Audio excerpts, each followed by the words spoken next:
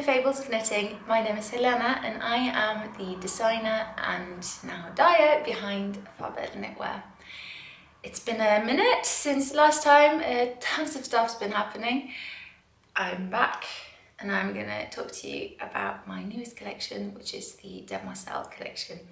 Two of the patterns have already been published, maybe even all of them by the time I managed to post this. There will be three, or there are three patterns in total. As I've covered before with this video, so when talking about my designs, I really love and enjoy designing in collections. Um, and like the purpose of the collection will vary from collection to collection. And this time around, I wanted to make a collection that you could wear as a cohesive outfit, so to speak, and also with garments that you could wear on their own. So there's a blouse, a dress, and a cardigan. Uh, and you can layer them, or you can not layer them, or layer them with something else. So there's loads of outfit options for these designs. Um, I was thinking during summer that I would do kind of a lookbook of here are all the different ways you can style these, just for inspiration. If anyone would be interested, I think that would be really fun, a really fun thing to do. I think we should just jump straight in and then I'll talk more about like, life in general towards the end. Uh, knitting content first and foremost. Let's just begin. Uh, begin with what I'm wearing. I'm wearing the Eglantine dress, uh, which is French for Briar Rose. The Demoiselle collection, as perhaps the name hints at, is named and inspired by France. Uh, when I was a kid, we spent a few summers in France driving. We drove all the way down from Norway uh, and then we'd rent beautiful farmhouse and we'd live up in the country and there would be sheep and sunflowers and antique markets and gorgeous tiny like hamlets so gorgeous and I've only been to Paris as an adult but I would love to go back and perhaps my memories are very romanticized but they are this is the Eglantine dress it's knit bottom up I'm to do the can-can dancing here, which is also French. uh, you can't really tell with this dark one, perhaps. It has a lace hem. So it has an A-line flared skirt, a fitted bodice, and then thinner straps, and it's quite low at the back, low, like just below the shoulder blades. It's knit, as I said, bottom up in the round. It's a surprisingly quick knit, um, even though it's a dress and it has some flare to the skirt. It's knit on 4mm needles uh, and the recommended wool or the recommended yarn is Pickles Merino Tweed or Pickles Pure Wool. This is knitted Pickles Merino Tweed. Um, full disclaimer, I collaborate with Pickles when designing, so I get a free pick of their yarns for my design work if I'm knitting private things. I buy it uh, but this is for design work, so I have received the yarn for this. And then if they should wish, they get to sell yarn kits with the pattern included from my patterns, which they do for, I think 12 of my patterns. Just makes it easier for, for you guys if you, you can just go in and select colours and you'll get the pattern and everything in one go. So that just full on disclaimer for that. This is all Pickles yarn uh, which I love. It's where I shop anyway. if I shop yarn from like elsewhere, that's my go-to place and it always has been. So I, yeah, I love this yarn. I've talked about the merino tweed before, which is my favorite. It's very light and airy. Uh, and the speckles of the tweed are gorgeous and they vary from colorway to colorway. A lot of tweed yarn will have the same speckles and then you dye on top of it. This, uh, the speckles vary from, based, uh, from colorway to colorway. Yes, so this is the Eglantine dress. I also knit it up in merino, in, sorry, I also knit it up in pure wool. So you can see the difference. Like I think they knit up Reddit quite differently. This is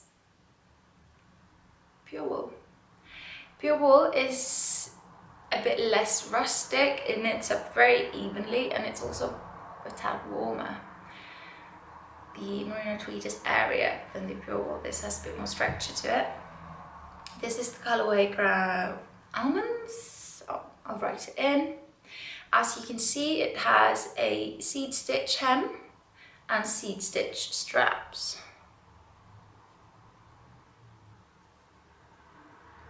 And then the back is slightly lower than the front. And you can see the lace a lot better on this as it's not so dark.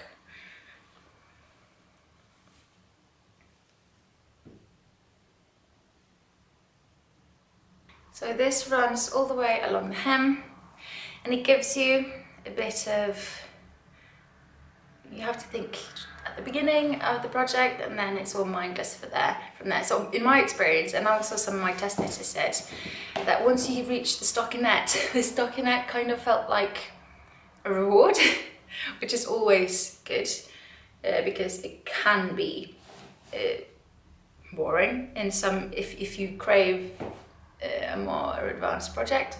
So the lace gives you that in the beginning and then super easy reward time after that. The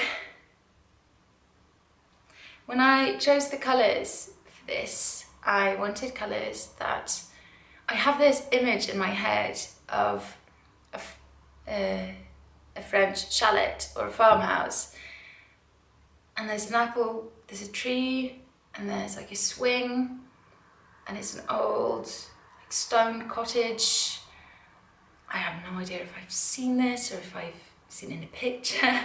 but I wanted, I wanted colours that I could just fit into that picture in my head. So when I looked at colours, I would compare it. I would try to like put that in my mental picture of well, what I had in my head. And sort of very earth tony neutrals is what I went for.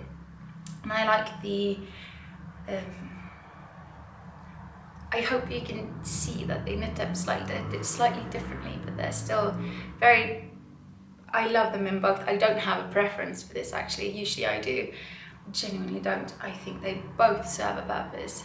And I love the speckles in this, and I love this colour. I think this is a very, very flattering light colour.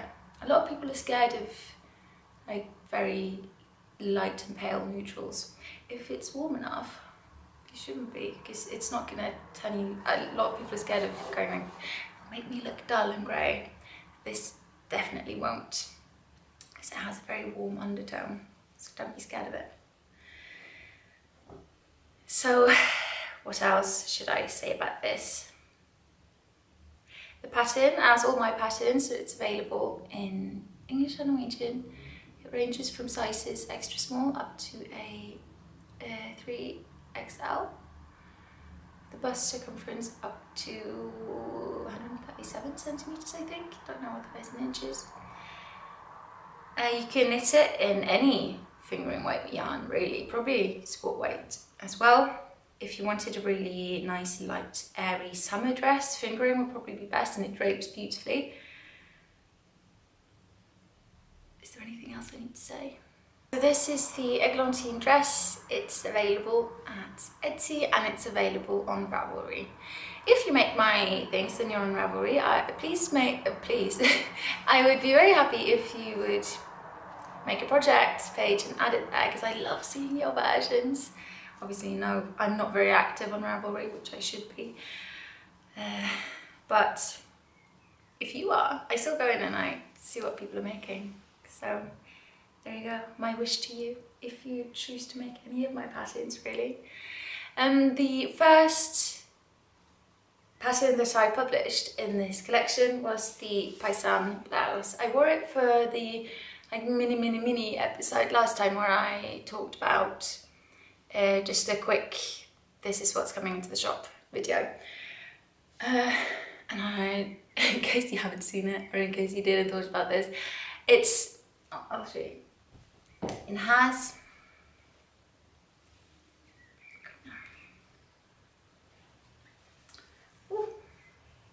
This is it. This is the Paysanne blouse.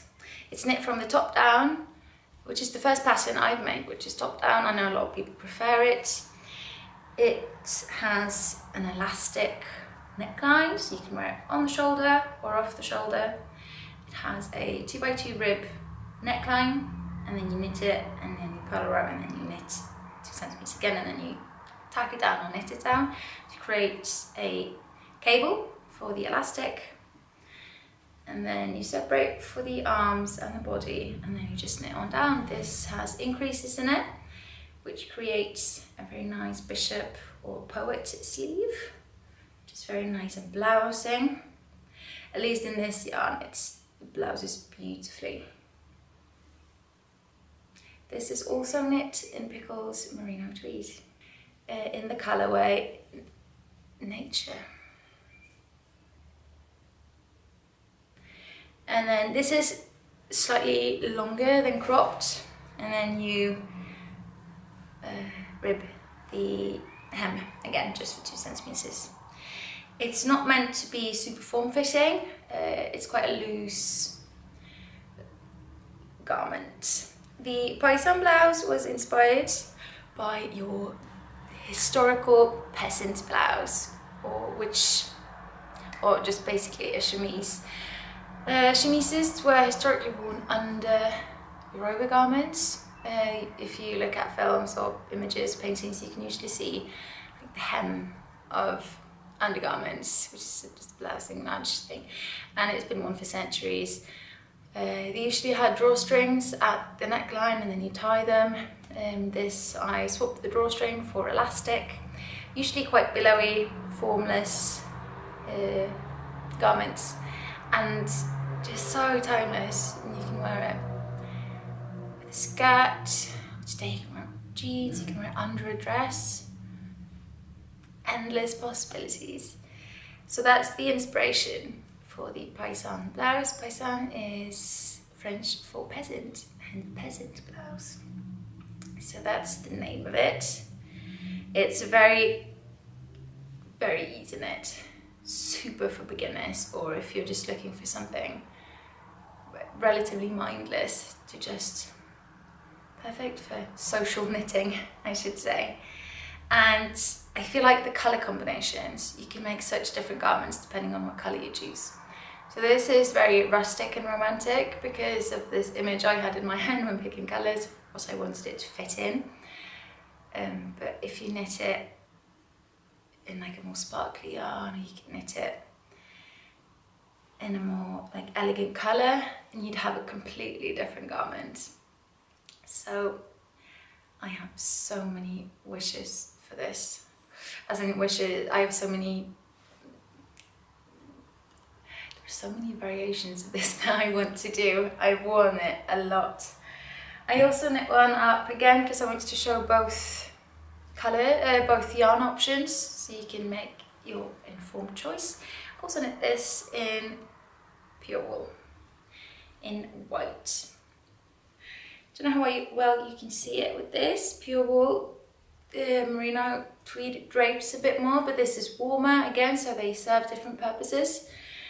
I've worn this, this has been my go-to layering blouse for when it's chilly outside because the weather's been a bit all over the place really. So this is The you decrease at the wrist and then you make another cable. However, I've chosen not to put elastic in. In the instructions will tell you how you can do it, but you don't need to. If you want to just fit it tightly, obviously just thread in some elastic using a um, safety pin. I chose not to because I like I like how they kind of hang off the wrist. Each to their own, but that there are instructions for that. Uh, and again, you can see how it's not like super form fitting, and I think that's very beautiful with a high waisted skirt or just over some shorts. I'm very, I love it. I've worn these a lot. It's quite humid today, so I opted not to layer with it. I was planning on it, then it's just too warm, so I, but this is, you can pretend this is the paysanne blouse unless I'm layering them. It's kind of the same thing. so that's the eglantine dress and the paysanne blouse. Next up, and the last pattern of this collection, which I'll be publishing on Thursday. Thursday the I can't remember 20th something so this is the abeilles cardigan it has a honeycomb pattern that runs all the way across the body and then the sleeves are knit in 2 by 2 rib that you fold at the cuff uh, and then has a v-neck as you can see Ooh. and a belt you can tie the back or you can uh, cinch it at the waist for more form. Uh, for more shaping I should say. Uh, it has no body shaping so it's meant to be slightly boxy, not boxy boxy but it's not your typical me style figure forming cardigan. It has no shaping because I wanted the belt to do that if you so wished.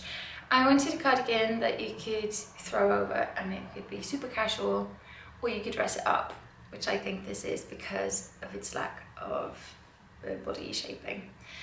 There is, I'll show you the honeycomb pattern.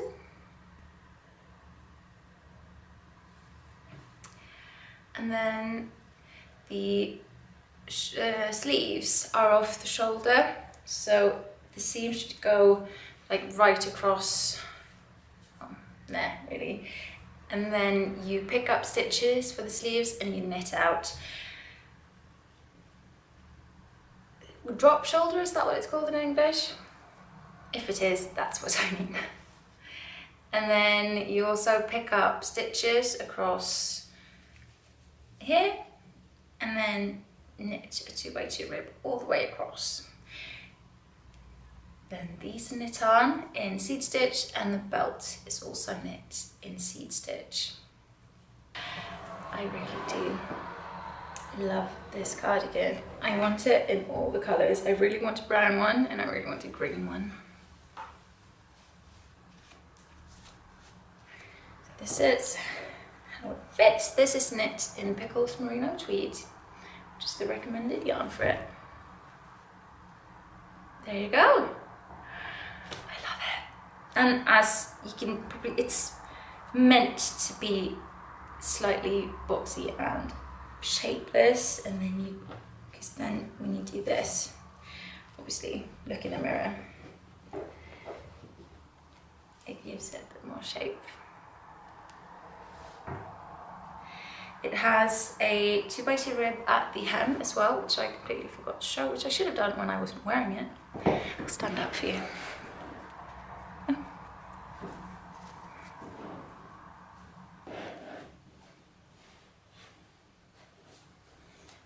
then let's do this.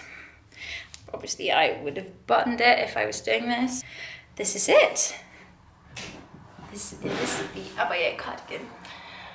In, again, Pickles Merino Tweed. You can see the speckles in this are gorgeous. They're a warm cream and like a warm honey yellow on top of the mustard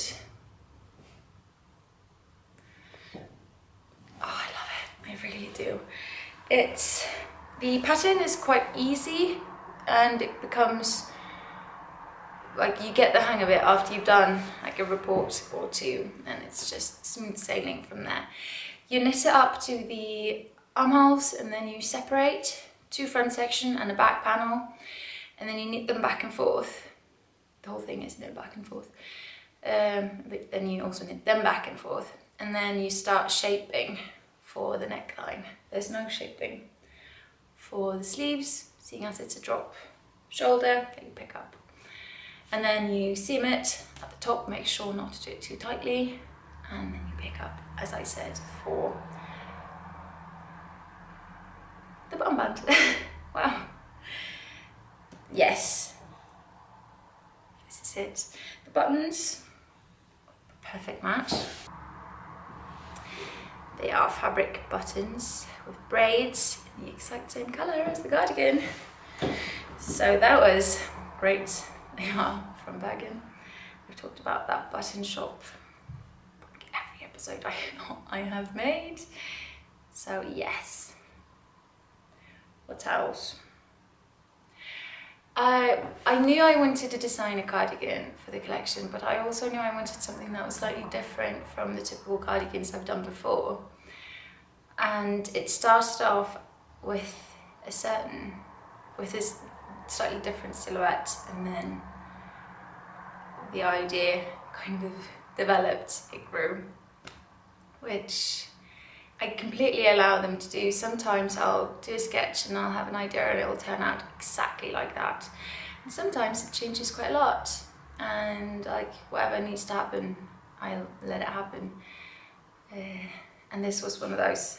It developed as I was thinking more about it and as I was knitting up the other two. This was the third one that I was working on and yeah, it's so happy with it. I wanted to make a like a very traditional silhouette. It's not a very Norwegian, traditional Norwegian silhouette because we have the kofta which has its own vibe going.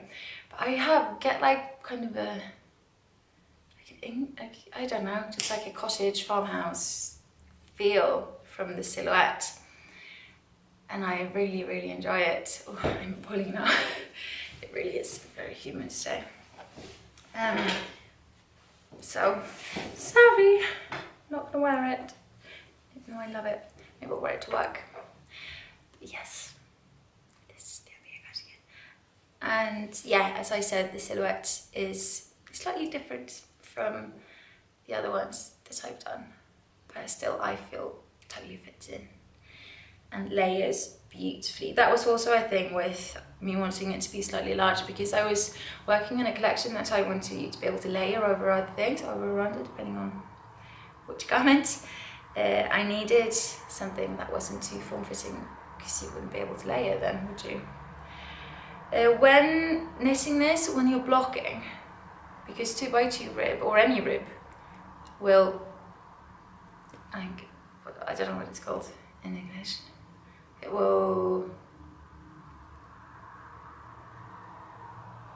cinch it because of the ribbing. It will, anyway, you, you know what I mean. Uh, so when you block it, just make sure you sort of stretch out the ribbing so that you can actually see the differences in the knits and purl stitches so it's not like a cinched in sleeve. So that's something to do when blocking. I do say this in the pattern, but just heads up anyway.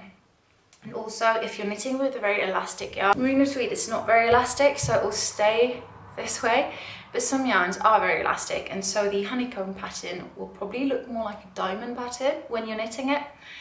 Uh, and what I mean by that is more like this and less like this. So more like this. So what you do when you block it, just gently stretch it out a bit to make sure it gets the right honeycomb shape and also that it doesn't end up being too form-fitting because if your yarn is elastic in your knit in a varying knit and purl stitches it will cinch in. So just something to be aware of.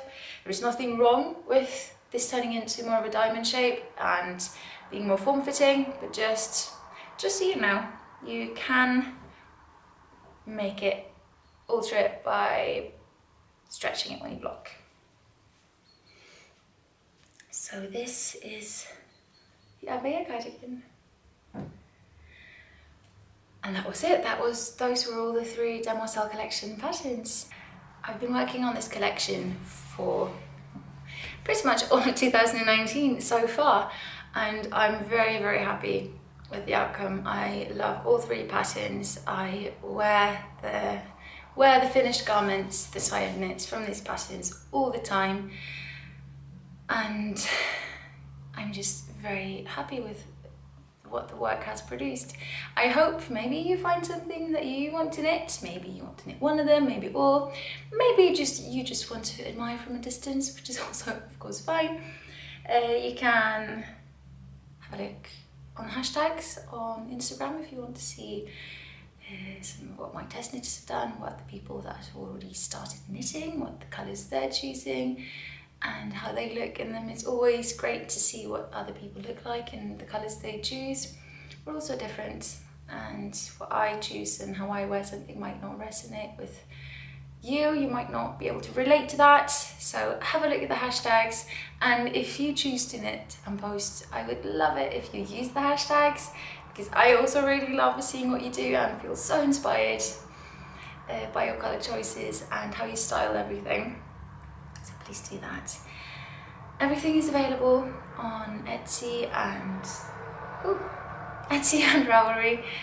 Uh, the patterns, they're in both Norwegian and English. The English version is below the Norwegian version in the PDF, just so you know.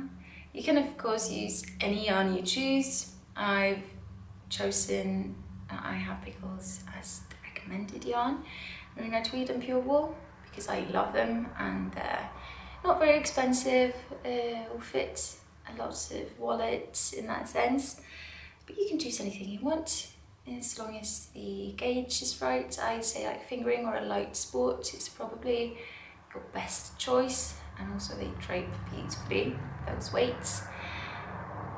I, yeah, very excited to show you. I'm very excited to have this done. I have already started uh, knitting for some new ideas for upcoming patterns.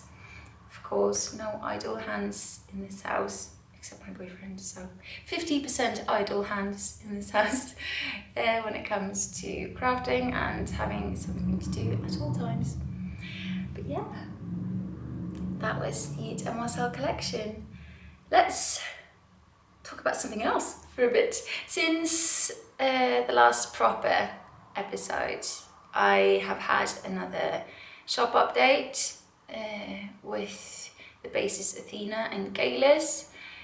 There's like three, I think, skeins left of Athena, not much at all. Although there are two skeins of Dreamseeker Dandelion, which is enough for a cardigan, up to a size medium, maybe even a large, uh, depending on, you know, what size cardigan and what shape cardigan. But my patterns, that should be fine. Say like maybe a Delacour cardigan, than that. And there are a couple of skeins left on each of the three colours of Galis Tweed. So there's Kingsfoil, Kaluna and Goldthorn. I am definitely planning a Rowena jumper and a Nutcracker jumper in that base. I've also been to Italy with my parents and my sister. We went to Bergamo in the north of Italy, uh, just outside of Milan. Oh my god, so beautiful. We happened to go on the weekend where all of Europe had constant rain. So it was raining all the time, but who cares? It was still gorgeous. So beautiful. I would definitely recommend going. We ate all the good food, we saw all the pretty things. It was it was the first trip I'd been with we've been on with my parents and my sister probably since I was 17 or 18 when we went to Rome another Italy trip, so that was really nice. It's been a long time because I don't count when they came to visit me in London because I live there. So for them it was a trip, but for me it wasn't. If you count that, it's not been that many years. Um, but I count that, so it's been ages and eons. So that happened, really nice. If you're contemplating going to Bergamo, do it. It's really beautiful. There's the lower city and then the upper city is all, it's really old and gorgeous and there's hardly any cars and it's all just cobbled streets and rickety alleyways. It's really beautiful. Very recommended. And I bought, do I have it here? Let me see. I can't find them. Uh, I, as I showed, if you saw my Christmas episode last year, I collect um, was I going to say? I collect Christmas ornaments, Christmas tree ornaments from when I travel. So each place I go, I buy a Christmas ornament. And I bought a little wooden Pinocchio to go on the tree. I thought it was in the bookshelf. It wasn't. He's hiding somewhere. Escape attempt, perhaps. Um, so he's not here. I bought one of those, so I was going to show you because a lot of people ask, but what can you do? He's hiding, he's hiding. I don't have time to play hide and seek right now. I've also been had a designer interview in Bright Garn, which is a beautiful magazine. This is Sana on the cover. Gorgeous. So, there I am. And So many gorgeous patterns in this. It's really nice. And here I am. So I'm not gonna. If you can read Norwegian, pick up a cover. Not just to read about me, because I talk about myself all the time, but to support the magazine and to have a look at the beautiful patterns in there. So many gorgeous patterns. It's a really lovely magazine. This is number nine, and as in, yeah, this is the ninth publication that they do.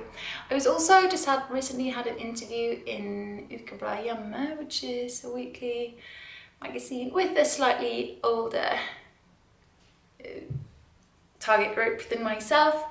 There's a lot of knitting patterns and baking and antiques, and they did a story about my uh, vintage collection.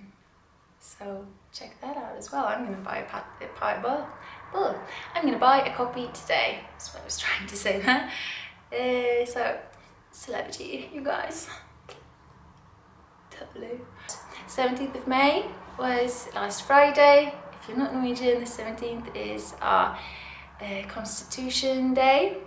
We celebrate our freedom from the Danish Union. Norway was never really its own country, only for very short periods of time through history.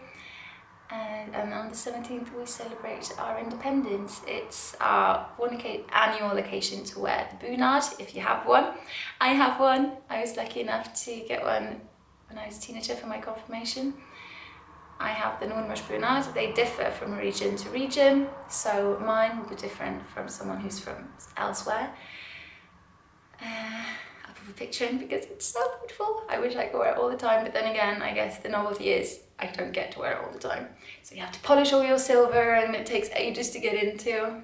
But, and I've not had anything done with it since I was 14 and it's starting to feel that way. It's kind of like wearing a corset. Uh, so I'm probably gonna have to let it out a bit for next year if I can be asked. It's so gorgeous. I love it. I think mine is the prettiest. Don't tell anyone I said that. Everyone thinks that's about the Rambunat. it's fine. So that was on the 17th. Such a fun day. You start the day with breakfast. We invited all our friends for breakfast. We had a champagne breakfast. Everyone brought a dish and there was just so much food.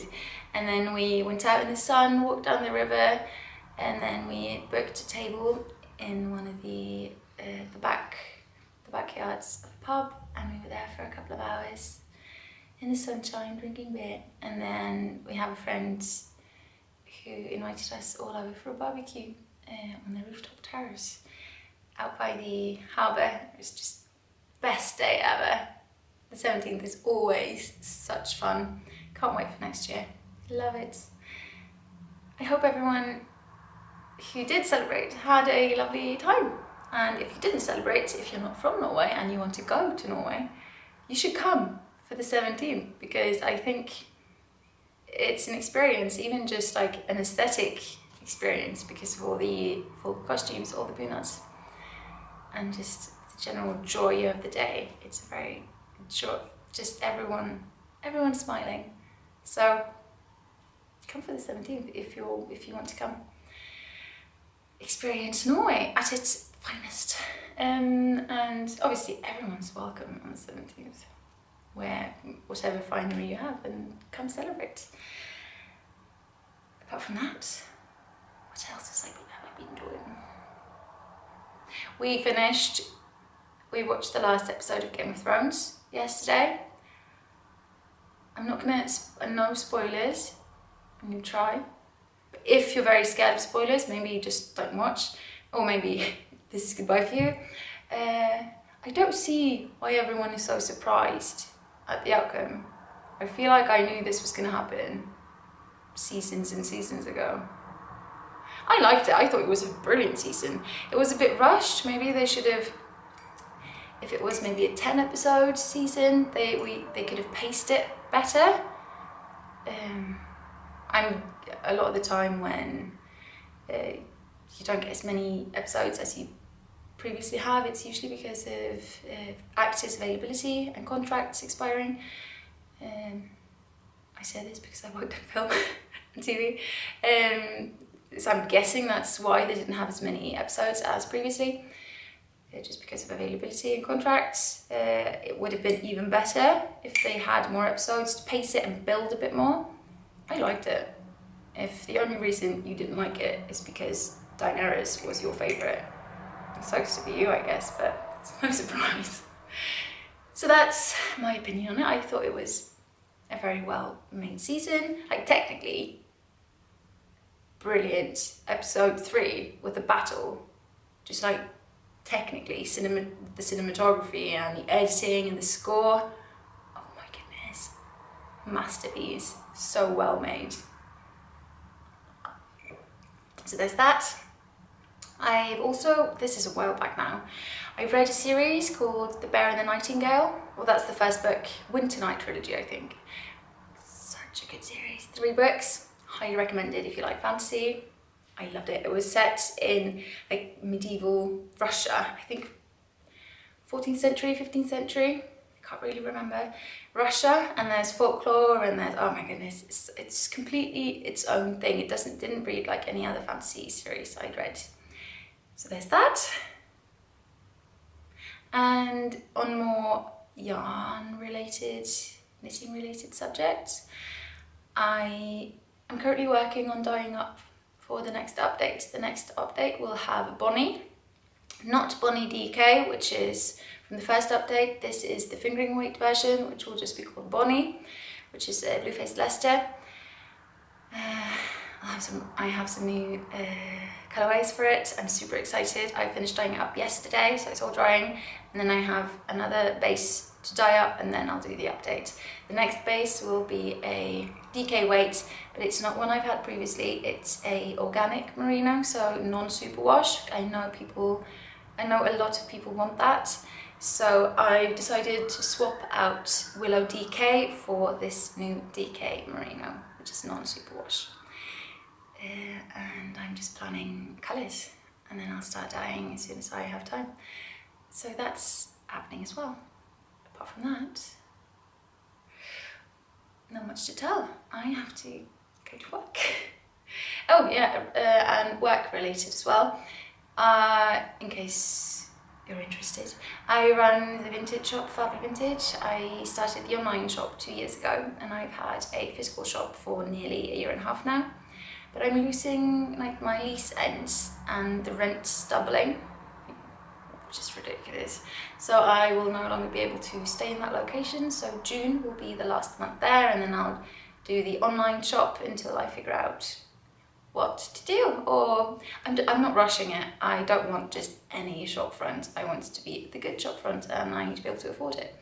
So that's what's happening there. So June will be the last month. So this is like the final, uh, this will be the final few weeks until I go come back to just online in the meantime. By no means the end, just until I figure out what the next step is. So a lot going on. I also have a product coming soon, which I'm so excited to show you. I'm just waiting for it and I'm not going to tell you anything else, but I think you're going to love it. I hope you're going to love it because I do. Uh, yeah, I think I've blathered on for long enough. I'm gonna drink my tea, I'm gonna get my bike and go to work. And I hope you liked the Demoiselle collection. I really do. I'm very happy with it. Thank you very much for watching and I'll see you soon. Bye!